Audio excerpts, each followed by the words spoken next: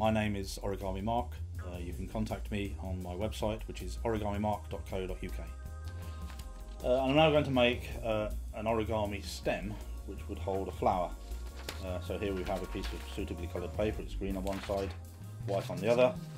First thing we do is fold the piece of paper in half diagonally, one point to the other, making our folds as neat as possible and making the creases that we do quite firm. So run your thumb along all the creases so it's nice and firm. Now this is a little trick that I learned many years ago for making neat folds to a, to a, to a crease point. It's much easier to fold to a line like this, which is away from you, than it is, for example, to try and do the same fold while the paper is open. It's much harder to see where the fold is supposed to go. So whenever you can, always make sure you fold to a, a crease point like that. What we're going to do is fold this raw edge at the bottom up to the centre.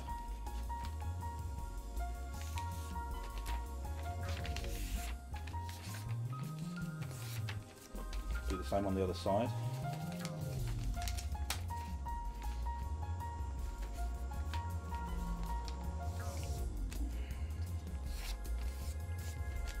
Then we've got a little white triangle and a big green triangle. We fold the raw edge of the little green triangle up to the centre as well. Trying to avoid the paper slipping while we do that. So that's enough. do the same on the other side with the other little triangle. And so we finish up with a diamond shape on that side a diamond shape that side with some flaps.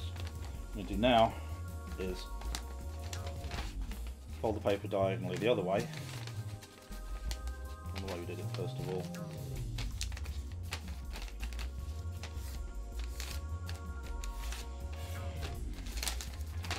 And when we do that, we can refold these raw edges in,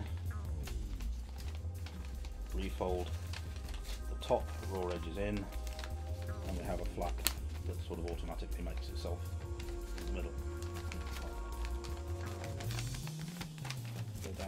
this out a little bit. We'll do it. And don't worry too much for this. For the purpose of this flower, it doesn't matter if you've got little gaps like this, it makes it more organic looking. So that's fine. We take one of these little flaps we just made and we fold it downwards. And then we fold it over on top of itself to fold it in half like that. So we've got one of our little points pointing upwards, one of the little points pointing over to the right Turn the model over table. It's usually easier to do this on the table rather than try and do it in the air.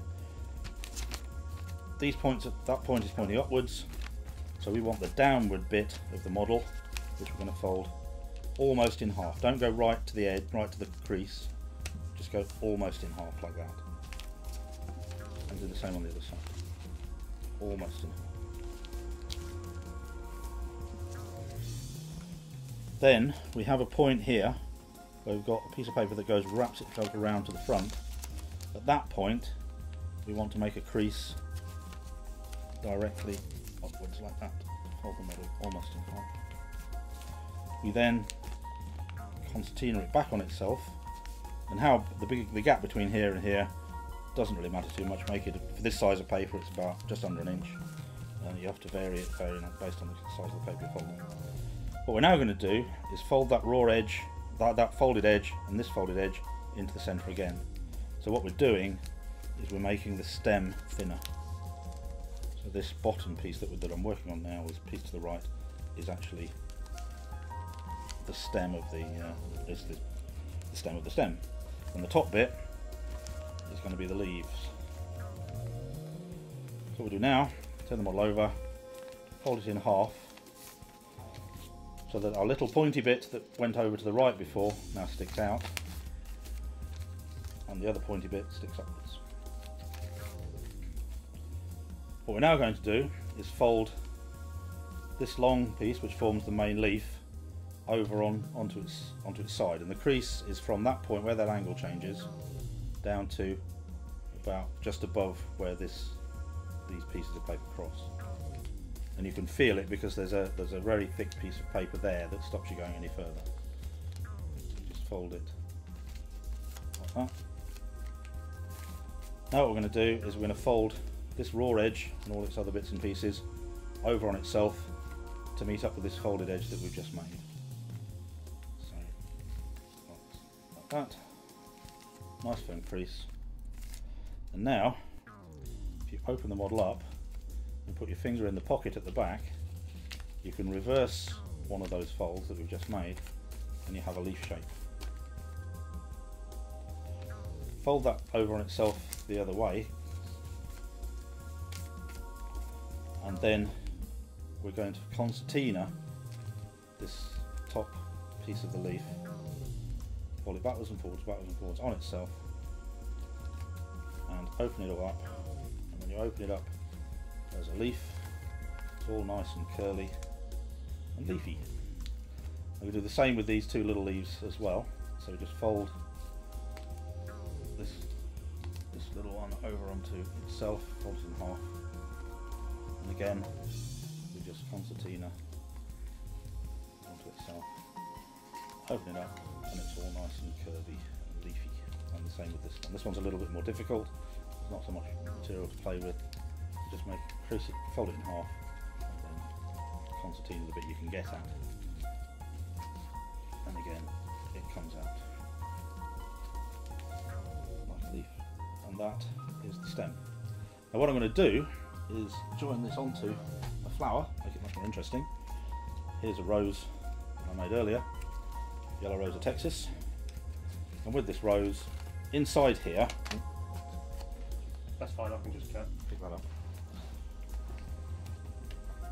Just carry on. Yeah. On this rose, we have some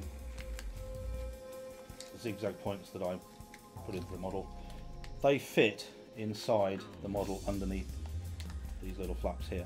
So if we slot that one in, fold the outer paper over the top of that, that thing to lock it in place, slot the other one in,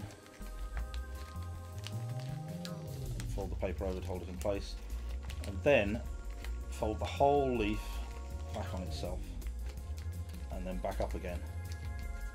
And what that will do is lock those creases in place. They're now firmly held by the stem in place. And if we put the creases all back, make it all nice and curvy, we have a rose on a stem.